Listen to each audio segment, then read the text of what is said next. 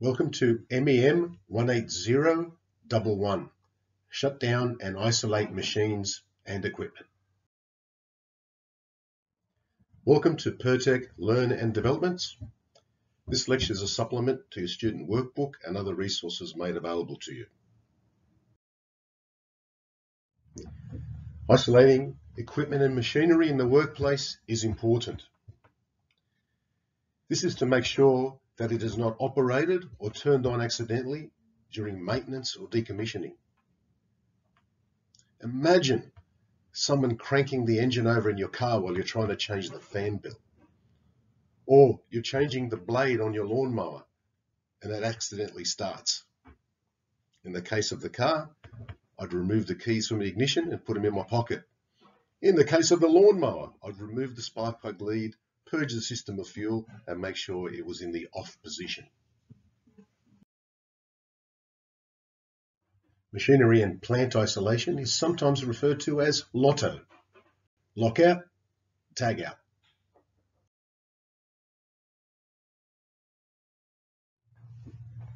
What will we be learning today? Today we'll be looking at the terminology, steps and equipment commonly used for locking out and tagging out equipment and machinery.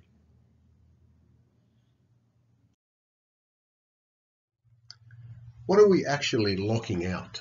Firstly, let's look at primary energy sources. Electric is an example. Chemical could be petrol or diesel or steam.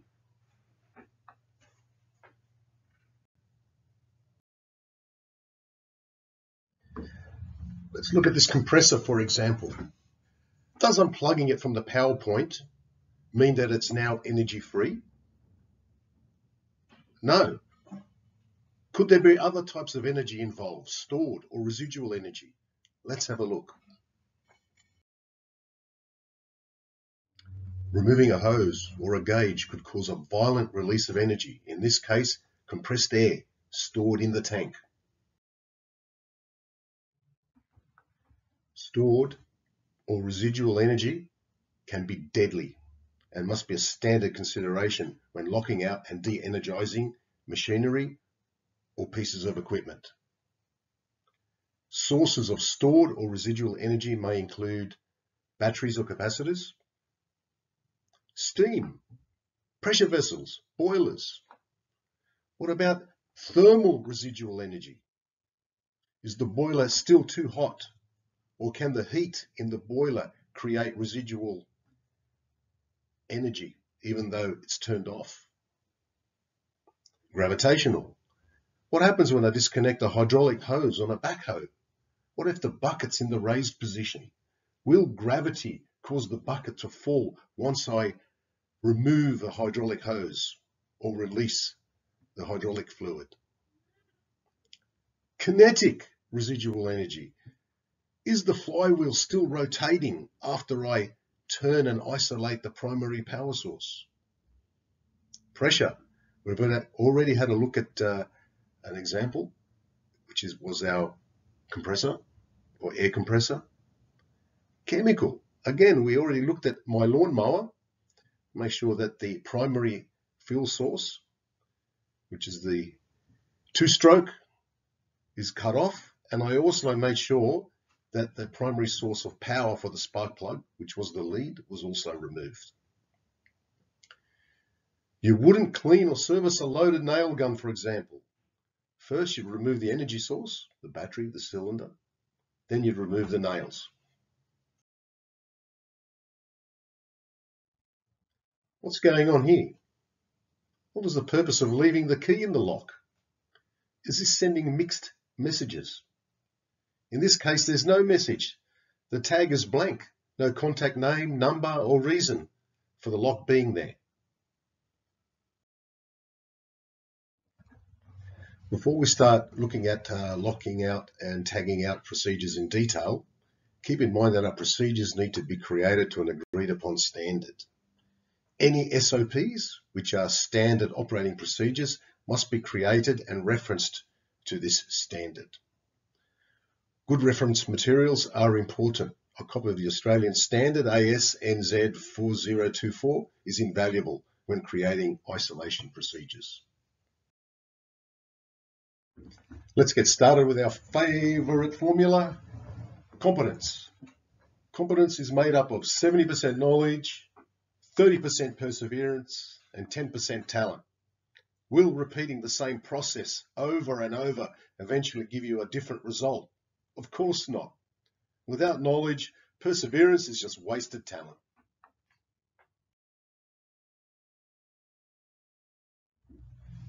As engineers, reference materials, charts, specifications, catalogues are critical to getting the job done efficiently. Portable electronic devices make it even easier than ever to have information available at your fingertips. A good reference book, a textbook, by the way, are also great resources. Check your student portal for additional references and resources.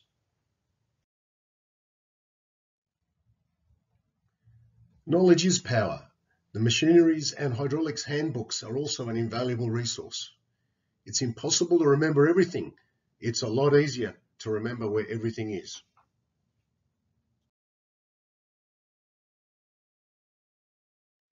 Let's warm up with this interesting video from uh, TAFE, Queensland.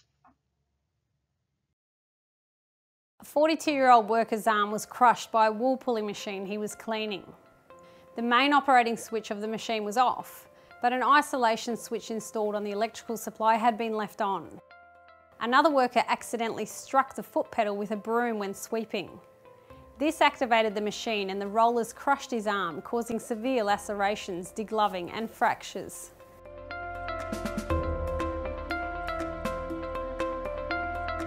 Make sure this doesn't happen at your workplace by ensuring machines are shut down and isolated when they're not in production or when they're being repaired, maintained or cleaned. Isolation means that energy cannot enter the machine and stored energy cannot be released, so there's no way it can start up accidentally. The most effective way to isolate machines is to lock them out. First, shut it down and turn off the power at its source. Prevent the power being turned back on by locking the switch or lever in the off position. It should only be possible for the lock to be removed by the person who attached it. Lock any other controls that could also activate or energise the machine. De-energise any stored energy which could also activate the machine. Air or hydraulic energy may be stored in a machine after the electricity has been turned off. This could involve lowering elevated equipment or releasing air or hydraulic pressure. Once a machine is isolated, follow a tag out process to warn others that the machine is not safe to use. Danger lockout tags are used once energy sources and isolation points have been locked out when someone is working on a machine and would be at serious risk if it was turned on or operated. Out of service tags are placed on a machinery to indicate that it is faulty or damaged. Tags should identify the person who locked out the machine, the date and time and the reason for isolation. If the isolation process involves a number of people, each person must attach their own danger lockout tag to their individual padlock and lock their padlock on a hasp in a lockbox. Each person's name and relevant details must be recorded on the isolation register. Finally, Test that the machine has been isolated by attempting to reactivate it without putting yourself or others in danger. Training your workers and contractors in isolating machinery should be a priority. Remember, shut down the machine, isolate energy sources, tag the machine, and inform someone that the machine is not in production. For more information, visit worksafe.qld.gov.au or call 1300 369 915. Work safe, home safe.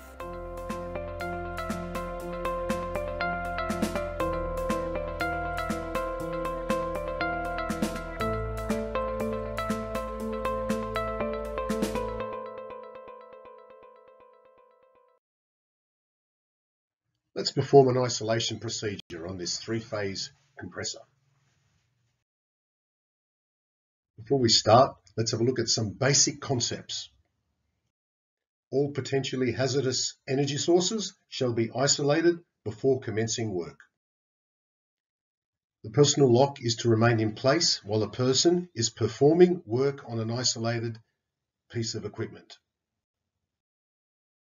Only competent and authorised personnel shall perform isolations and de-isolations. Personal locks shall only be removed by their owner. The scenario. A cylinder head gasket and pressure switch on the compressor will need replacing. A fitter and an electrician will be required for this job.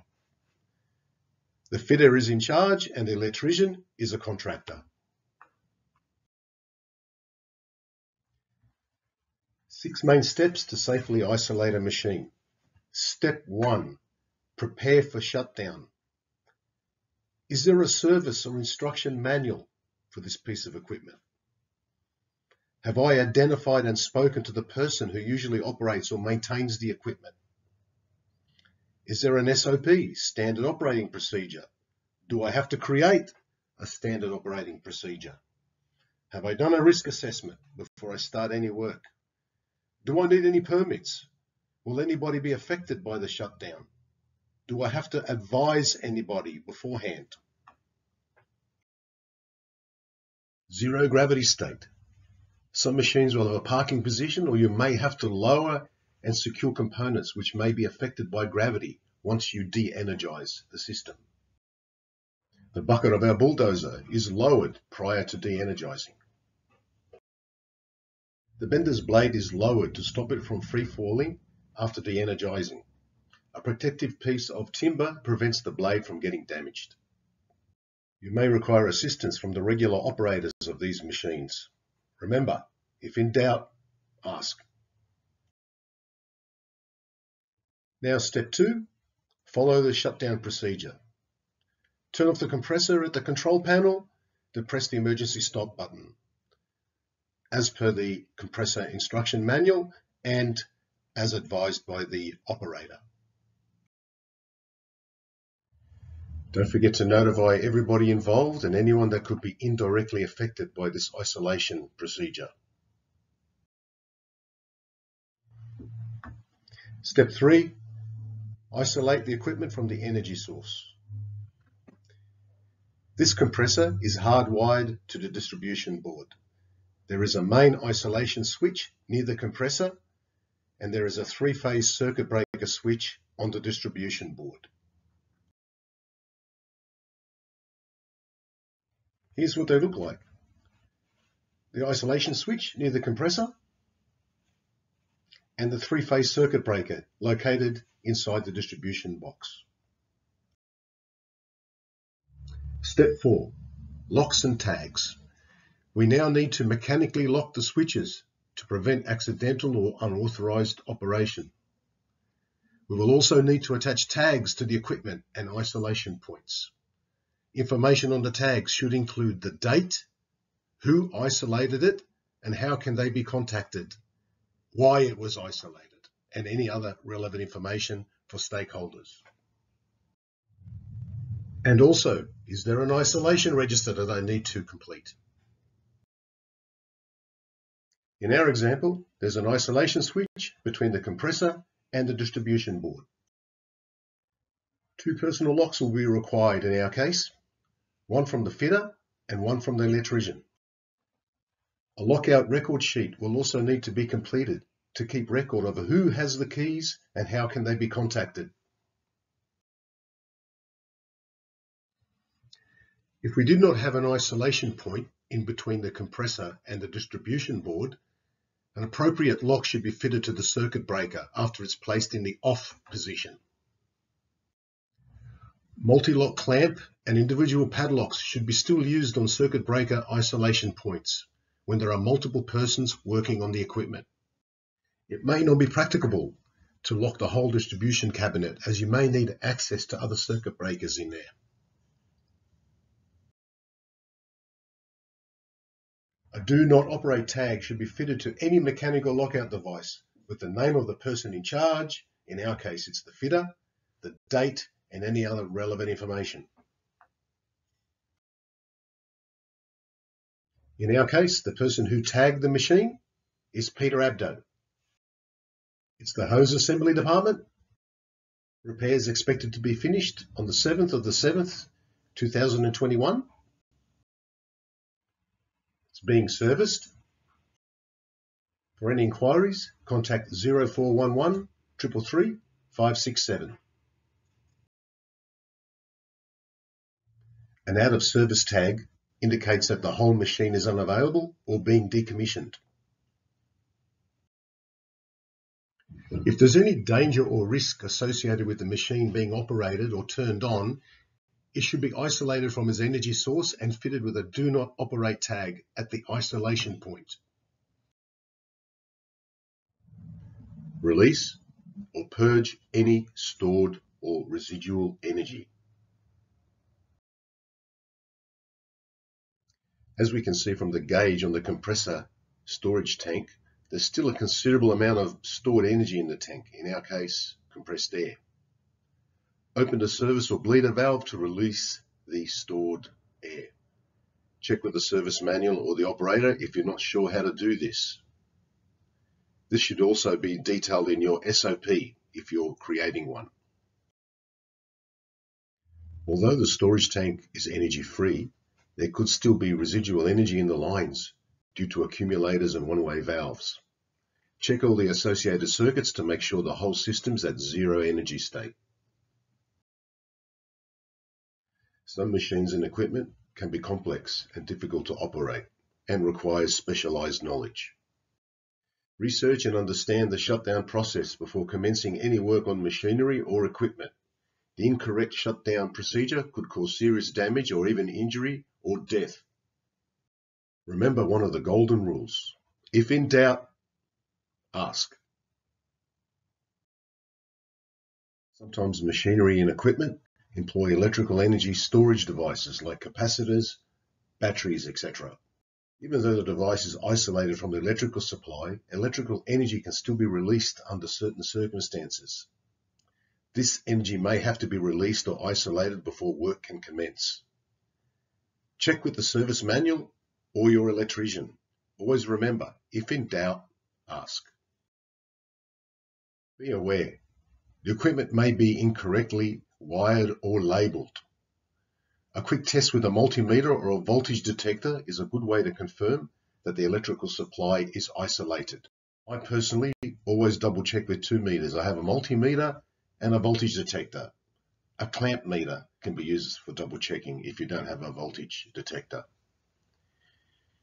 If you're not familiar with using these devices, get a qualified person to assist you.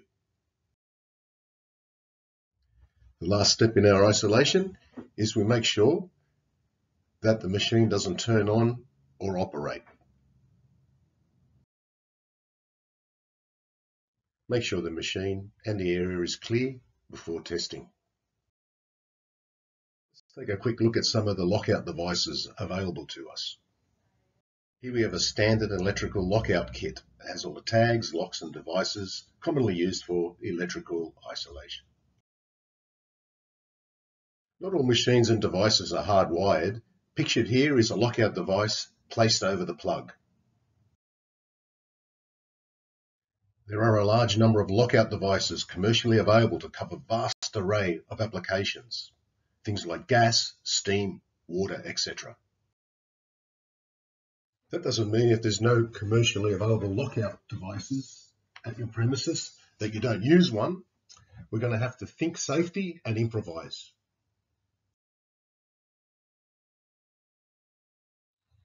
Will a regular padlock fit on the isolator? Can we use a couple of cable ties? Can we remove the fuse at the distribution board? And of course, we can make our own labels. Step one, preparing to re-energize. Do I need to warn or notify anyone that I'm re-energizing the equipment? Will this action affect anyone or put somebody in danger or cause damage to something?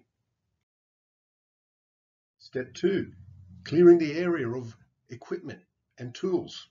Am I leaving the area as I found it? Am I leaving any equipment behind or anything that could cause a hazard to somebody?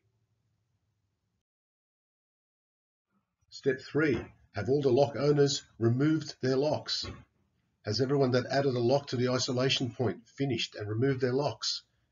Have I checked the isolation register? What does that say? If all locks are removed and I'm clear to proceed, I'll remove any remaining lockout devices that were fitted by me. Step 5. Paperwork. Have I updated the isolation register? Good time to destroy any tags or erase any information on reusable tags.